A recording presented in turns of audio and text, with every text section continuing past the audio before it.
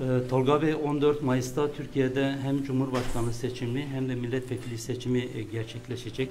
21 yıl AKP iktidarından sonra bir değişimin olacağını veya olması gerektiğini düşünüyor musunuz? E, Ben Türkiye'de e, böyle bir değişimin olacağına inanıyorum.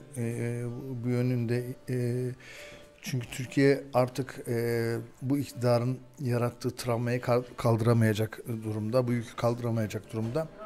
E, Burada tek adam rejimini e, yıkma ve e, yerine tekrar demokratik e, seçim sistemine oturtmak gibi bir öncelikli derdimiz var.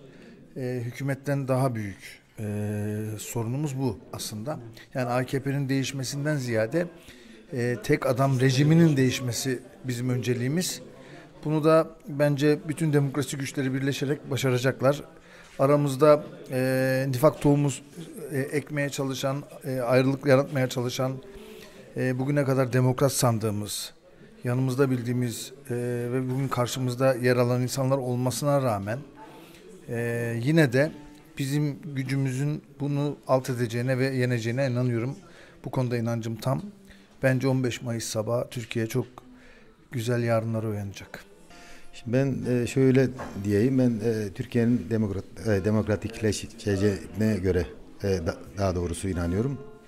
E, çünkü dem- demokratikleşmeden, e, insan hakları savunulmadan, kadın hakları savunulmadan o ülke yaşanmaz hale gelir. Onun için benim ben umutluyum bu konuda. Biz 1923'te 8-10 milyon insanla bütün dünyada mazlum haklara örnek olacak bir kurtuluş savaşının ardından çağdaş, layık, insan hakları temelinde eee kalkınmaya dönük bir cumhuriyet inşa ettik. 100 yıl sonra bunun aksini düşünüyorsak, bunun aksi adımlar varsa ve biz Cumhuriyet'in değerlerinden, kazanımlarından geri dönüyorsak burada büyük bir sorgulama, eee, sorgulamamız gereken alanları vardır. Bu ülkenin çok kadim, çok kıymetli insanları vardır. Hakların hak temelinde, vatandaşlık temelinde birbirlerine karşı ben hiçbir düşmanlıkların olduğunu inanmıyorum. Bizim sıkıntımız Türkiye'de yaşayan 85 milyon insan kul değildir. Türkiye'de yaşayan 85 milyon insan vatandaşlık bağlarıyla birbirine bağlanmış çağdaş bir ülkenin vatandaşıdır. Biz kurulukta 1923'te çıktık, vatandaşlığa geçtik. Bugün de aynı doğrultuda adımlar atmamız lazım. Bu güzel insanlara bu yakışır. Bunu da ekonomik alanlarla, sosyal alanlarla, kültürel alanlarla destekleyip bu güzel insanlarla bu güzel rejimi yaşamak bize yakışır. Sanıyorum bunun için de böyle bir aydınlık bir havanın olduğunu söyleyebiliriz.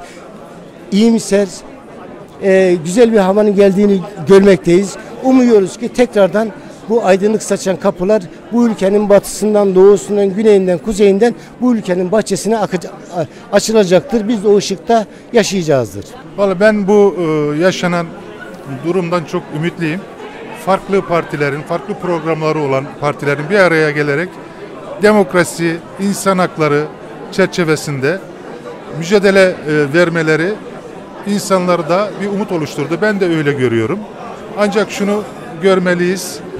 E, şu andaki yöneticiler birçok alanda benim görebildiğim kadarıyla suça battılar, çok suç işlediler her ağızları açıldığında ülkemizi biz milliyiz, ülkemizi korumak istiyoruz, ülkemizin çıkarlarını savunuyoruz deseler bile pek inandırıcı gelmiyor. Bunlar daha çok kendilerini kurtarmak adına yapmayacakları iş yokmuş gibi geliyor bana. Dolayısıyla muhalefetin şu andaki muhalefetin her konuda dikkatli olması lazım, sabırlı olması lazım, mücadeleye devam etmesi gerekiyor ve 14 Mayıs günü de kazan muhalefet kazan, muhalefetin kazandığı ortaya çıkarsa yine bunlar her türlü yola başvurabilir teslim etmemek adına. Bu anlamda da halkımız, insanlarımız elinden gelen o kendi haklı mücadelesini e, savunabilmek için elinden gelen her türlü mücadeleye devam etmesi gerekiyor.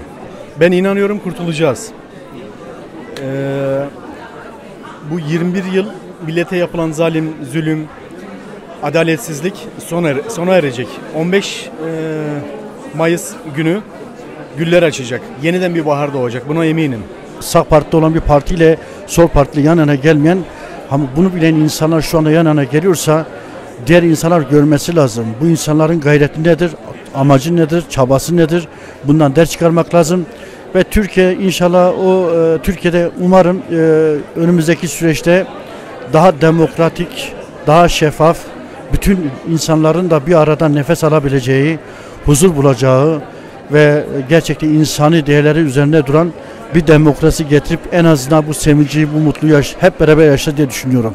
Ya ben bu değişimin bir kere olmasını isteyen e, yüreklerden bir tanesiyim. Çünkü biz gerçekten Alevi toplumu olarak e, toplumumuza birlik, beraberlik e, ve ger, e, dayanışmadan yana olduğumuz, hiç kimsenin kimseyi ezmediği, özgürlüklerin ve kardeşliğin olması gerektiğini inanan e, bir yolumuz var ve biz buna gerçekten yürekten inandığımız için e, bu yolumuzu yürütüyoruz. Bunun için gerçekten Kılıçdaroğlu'nun olması da bir başka avantaj oldu. Yani e, kişiliğine ve kimliğine baktığımız zaman toplumsal olarak e, insanları birleştirici bir e, yapıda. E, geçmişte de bürokrat bir insan doğruyu ve yanlışı Türkiye'nin geleceği için çok iyi sonuçlar vereceğinden eminim. Umarım herkes bu bilinçle sandık başına gider ve Türkiye'nin ikinci yüzyılında demokrat bir ülke konumuna getirmeye çalışırlar diye düşünüyorum. Şimdi tabii ki e, bir taraftan da e, böyle bir seçim bizim için şu an çok önemli. Türkiye için çok önemli. Türkiye'nin geleceği için çok önemli. 20 senelik bir AKP iktidarı var. Maalesef bu iktidar Türkiye'de büyük bir yıkıma sebep olmuştur. Herkes görüyor ekonomik yönde olsun, demokrasi, adaletli olmadığı bir yerde tabii ki yaşam zor olur. Nefes almak zor olur.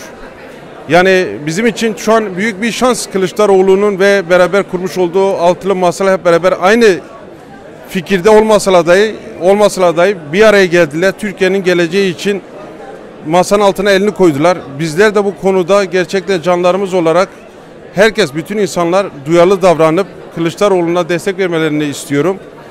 Ee, ne olursa olsun biz kazanacağız. Gelecek güzel olacak, güneş yeni de doğacak diyorum.